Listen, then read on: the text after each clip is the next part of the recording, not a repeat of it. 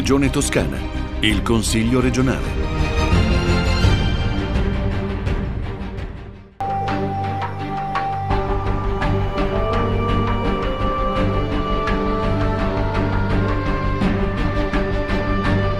Consiglio regionale straordinario sul tema dei vaccini, chiesto dalle opposizioni, con all'ordine del giorno anche la richiesta di sfiducia verso l'assessore alla sanità Bezzini. La maggioranza compatta difende in aula l'operato della Regione Toscana, con il Presidente Gianni che ha concluso il dibattito evidenziando le difficoltà oggettive della macchina vaccinale per l'arrivo di poche dosi nel primo trimestre del 2021 rispetto a quanto previsto a inizio dell'anno. L'assessore Bezzini, che ha aperto l'aula con la sua relazione, ha indicato come la Toscana in questi ultimi giorni abbia incrementato il numero di vaccini inoculati e si pone l'obiettivo di raggiungere entro maggio il 30% dei cittadini in sicurezza, completando la vaccinazione degli over 80, dando priorità agli anziani di età compresa tra 70 e 79 anni e portando avanti la vaccinazione delle persone estremamente vulnerabili. Ampio il dibattito con gli interventi delle forze di opposizione che hanno criticato in maniera forte l'operato della regione toscana soprattutto per la mancanza di vaccinazione degli over 80 e delle categorie fragili. Nell'ambito della seduta è stata istituita la commissione speciale per il sostegno, il monitoraggio e il controllo della campagna vaccinale, proposta dalla Lega e approvata dal Consiglio con voto contrario solo del gruppo di Fratelli d'Italia. Ne faranno parte 10 consiglieri, 6 di maggioranza e 4 di opposizione e sarà operativa per i prossimi tre mesi. Non mi sfuggono le grandi preoccupazioni che sono emerse nella società toscana rispetto ad alcuni indicatori che fanno riferimento all'andamento della campagna vaccinale nella nostra, eh, nella nostra regione, in particolar modo uno, e rispetto a queste preoccupazioni ho, abbiamo il dovere di farsene carico con grande senso di responsabilità e con trasparenza. I dati evidenziati sul sito del governo questa mattina alle ore 6 ci consegnavano un andamento della campagna di vaccinazione che per la nostra regione esprime un più 6% rispetto alla media nazionale un più 6% in termini di ritmo di, di, di vaccinazione. C'è un dato che sotto, vorrei sottolineare come particolarmente significativo, che testimonia anche con numeri più dettagliati diciamo, il ritmo di vaccinazione che abbiamo tenuto nella nostra, nella nostra regione. Noi abbiamo diciamo, 20.665 persone vaccinate ogni 100.000 abitanti, 20.665. La media nazionale della vaccinazione ogni 100.000 abitanti è 18.866. Ad oggi noi siamo in un quadro che vede un potenziale ah, già in essere di vaccinazione nella nostra regione tra 25.000 e 30.000 somministrazioni quotidiane, equivalente a un potenziale di somministrazione di un milione di dosi circa al mese. Stiamo lavorando per definire nuove intese con nuovi soggetti, ripeto, in grado di implementare ulteriormente verso 40-50 mila dosi di somministrazione giornaliera nelle prossime settimane e nei prossimi, eh, nei prossimi mesi. Penso alla questione ovviamente degli degli over 80, sulla quale ovviamente voglio spendere alcune parole. C'è un ritmo crescente di vaccinazioni, la settimana scorsa abbiamo, eh, sono state fatte circa 80.000 vaccinazioni tra prime e seconde dosi agli over 80, lo stesso avverrà in questa settimana e stiamo lavorando con la medicina generale, con eventuali elementi di supporto, diciamo, no? sul quale si sta riflettendo anche da parte della macchina regionale e di quella delle aziende, affinché con questa accelerazione si rispetti l'obiettivo che ci siamo dati, che è quello di terminare le prime somministrazioni entro il 25 aprile e poi entro eh, la prima metà di maggio chiudere con tutto il richiamo. Per quanto ci si possa impegnare, noi abbiamo perso del tempo prezioso per vaccinare quelle categorie che sono le più esposte e le più fragili. Intendo gli over 80 e intendo le persone estremamente vulnerabili. E questo io eh, lo voglio dire chiaramente perché se c'è stata un'accelerazione negli ultimi giorni è dovuto anche alla sollecitazione da parte nostra e di tutte le opposizioni nel cercare di far meglio. E questo è, è, secondo me un valore aggiunto che le opposizioni possono portare alla discussione, perché fino ad oggi purtroppo quella collegialità di cui parlava l'assessore Vezzini non c'è stata. Non c'è stata nel momento in cui la Commissione Sanità ha approvato una proposta di risoluzione che ha firmato anche il vicepresidente della Lega, Andrea Ulmi, che però è stata disattesa nei fatti.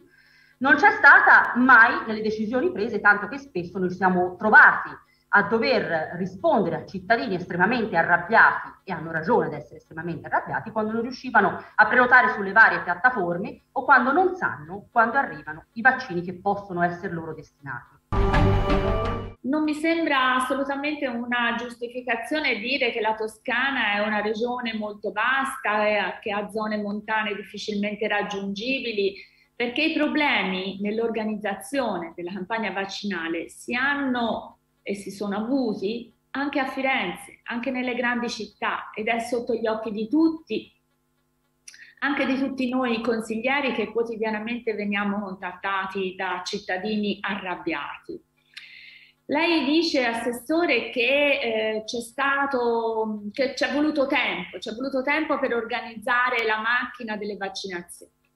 Ecco, questa è una cosa che non è ammissibile perché siamo da più di un anno in pandemia e questa cosa andava pensata per tempo. Il problema, secondo me e secondo molti cittadini, è che si è usato questo tempo per fare campagna elettorale, per decidere eh, determinati posti e determinate poltrone e, e soprattutto non sembra ci sia stato comunicazione fra che era prima assessore e lei, perché altrimenti tutto questo tempo non sarebbe stato necessario.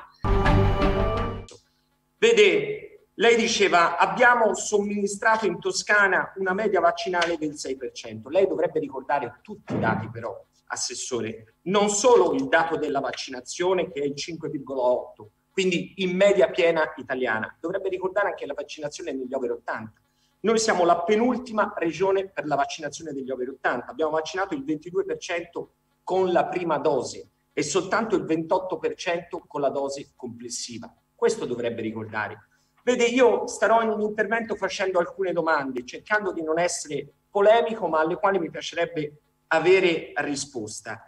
Del perché sugli over 80 dovrà spiegarcelo, ma dovrà spiegarcelo anche per bene. Certo non ci basta quello che lei oggi ci ha detto all'interno della sua relazione. Come non ci basta quello che ha detto sui medici di base, ha rivendicato una scelta, salvo poi essere smentita in un'intervista, o perlomeno, a meno che io non mi sbagli, di oggi alla Nazione braccio di ferro a stasera con i medici di famiglia.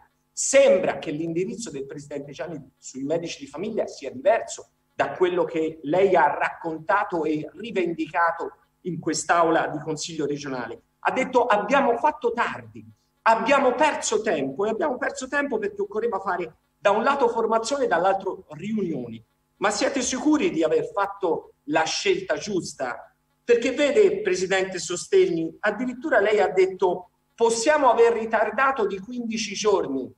Io non voglio fare un conto macabro, ma quei 15 giorni significano 29.000 985 ricoverati e 615 morti. Questo significa i 15 giorni di ritardo nella vaccinazione degli over 80.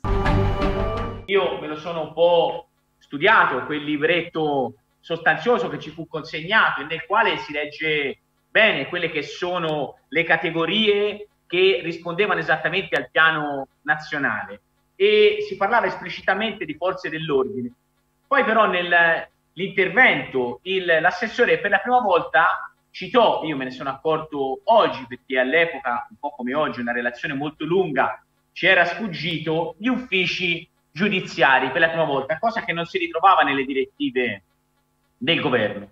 Ebbene, sono andato a vedere gli uffici giudiziari, perché potrei sbagliarmi, dalla Corte Costituzionale in giù, sono quelli che in qualche modo fanno riferimento alla struttura dell'ordinamento giudiziario, cioè gli uffici pubblici, quindi le corti d'appello, i tribunali, i giudici di pace, tutta questa roba.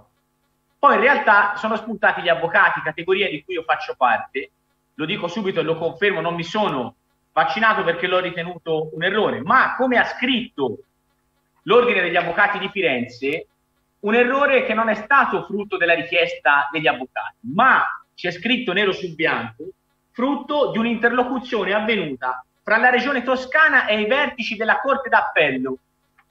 Io vorrei sapere, Presidente Gianni, ma chi ci ha interloquito con i vertici della Corte d'Appello? Si può sapere? È evidente che se vengono vaccinati gli amministrativi, il cittadino si aspetta che comunque non siano smart working. È evidente che se vengono fatte delle riserve i cittadini si aspettano pari dignità e pari diritti nell'accesso alle riserve. E non può essere un giornalista famoso ad avere una corsia privilegiata o l'agevolazione di un contatto diretto ad accedere a quella riserva che supera ogni livello, che supera ogni livello di priorità purché quest'Aula tutta ha chiesto comunque che venga fatta la riserva perché appunto non si doveva disperdere un vaccino. Quindi io credo che ci sia un quadro complessivo di responsabilità. È evidente e graduato. Noi dobbiamo non difendere esclusivamente in termini numerici e aritmetici quanto fatto, quanto verrà fatto. Saranno i cittadini a giudicarlo. Abbiamo tempo cinque anni. Non è questa la seduta nella quale ciascuno di noi è chiamato a dare un giudizio né sull'assessore, a mio avviso, né sul Presidente, né su ciascuno di noi. Noi abbiamo il dovere morale di avere l'intelligenza e l'onestà culturale di dire dove abbiamo sbagliato ciascuno di noi, per avere l'intelligenza per provare a vedere se nei prossimi mesi non commettiamo più quegli errori, assumendosene ciascuno di noi un pezzo di questa responsabilità. E per me tanti stimoli, tante indicazioni e nella dialettica fra maggioranza, opposizione, nel, nello spirito di tutti, eh, io colgo gli aspetti costruttivi che saranno sicuramente raccolti, anche con quello che poi il Consiglio si darà come strumento legittimamente per eh, favorire, diciamo così, una collaborazione. Devo dire che io in primo luogo voglio ringraziare l'assessore Simone Bezzini, eh, per il suo intervento puntuale, per il suo lavoro quotidiano, per la sua dedizione 24 ore su 24, per la capacità che ha avuto, eh, al di là delle situazioni e delle scelte mh, mm, che in, questa, in, questo clima eh, possono essere state assunte, di svolgere fino in fondo il suo ruolo. All'inizio di gennaio le cronache dei giornali, guardavo l'altro giorno una tv che le riproponeva, parlavano entro i primi tre mesi eh, di eh, 28 milioni di dosi di vaccino e oggi voi andate sul sito del governo e vi rendete conto che in Italia sono somministrate eh, poco più di 11 milioni. Eh, passare da 28 a 11 milioni significa eh, che fare programmazione, pianificazione eh, è assolutamente difficile, eh, se non impossibile. Significa cioè che eh, tanti aspetti che oggi vengono visti col senno del poi, nel momento in cui avessimo avuto i 28 milioni di dosi di vaccino, eh, probabilmente non ce ne saremmo nemmeno resi conto, perché avremmo potuto dare soddisfazione a tutte le aspettative che vi sono nella popolazione e in tutto quello che è un buon governo eh, da un punto di vista della velocità della campagna vaccinale. Quindi una Toscana che complessivamente esce, e lo dico perché ho colto in tanti di voi, in buona fede, un grande orgoglio di essere toscani, di vedere il nostro sistema. Ecco, io vi posso dire che eh, errori, eh, aspetti che potevano essere in altro modo e sono stati eh, anche differentemente a quello che a me piaceva eh, potessero essere, ci sono stati, ma complessivamente la Toscana si sta caratterizzando, me lo riconosceva anche ieri il generale Figliolo, come eh, una delle regioni che sta mostrando efficienza, tempestività, efficacia. Certo, nella considerazione del numero dei vaccini che eh, è possibile far arrivare in Toscana.